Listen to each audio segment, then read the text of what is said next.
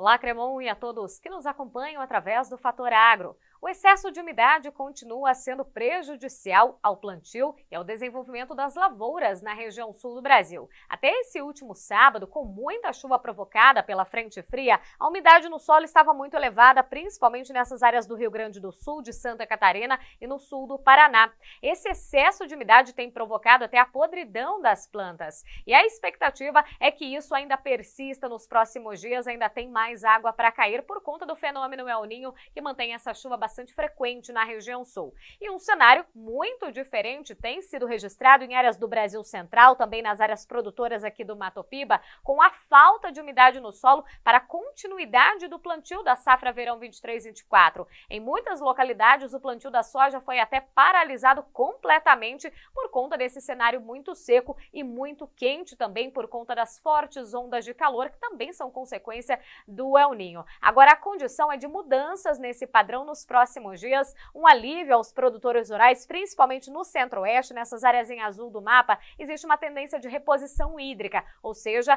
tem previsão de chuva por conta do avanço da frente fria e a formação de um corredor de umidade. Nesses próximos dias, marcando já a reta final do mês de novembro, chuvas espalhadas desde a região norte até o sul. No centro-oeste, notamos ali uma tendência de chuvas até mais expressivas, com volumes que devem variar entre 40 e até 70 milímetros. Então, é uma importantíssima chuva para a retomada do plantio e também para o desenvolvimento das lavouras com essa reposição hídrica. No entanto, eventos extremos de precipitação ainda devem marcar a região sul, principalmente as áreas em amarelo e laranja do mapa, com volumes que devem variar entre 100 até 200 milímetros. E na região norte, eventos extremos também podem ser registrados, principalmente em Roraima, no Amazonas, no Acre, de forma mais pontual aqui no sul do Pará, algo que também deve ajudar principalmente as áreas de pastagens que estão muito secas, enfrentando um número cada vez mais elevado de queimadas. Então, até o dia 30 de novembro, essas chuvas espalhadas em grande parte do Brasil, o que chama atenção ainda são as áreas aqui do Matopiba no Nordeste.